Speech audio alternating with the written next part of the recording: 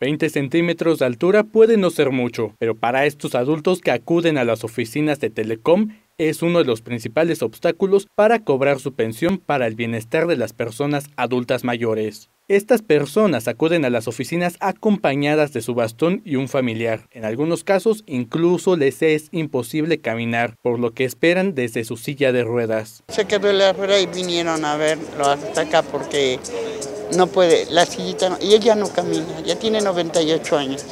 Y por eso es que la tenemos que estar aquí esperando.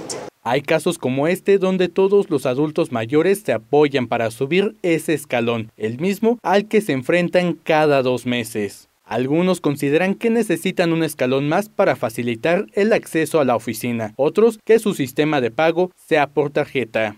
Por eso queremos que mejor nos diera tarjetas para que vayamos ya al banco. Así va un familiar a cobrar. Y no que tenemos que estar aquí horas en las filas y en el sol y todo. ¿Se le complica también a usted? Sí, también por la vena, sufro de mis venas. Y pues ando un poco mala y pues para estar parada tanto y eso. Nomás un escaloncito más para que ya pueda unos más o menos ayudarlo y subir. Esta es la realidad a la que se enfrentan los adultos de más de 65 años de edad tras hacer por lo menos una hora de fila. Con imágenes de Tomás Zamora, Manuel Flores, Puebla Noticias.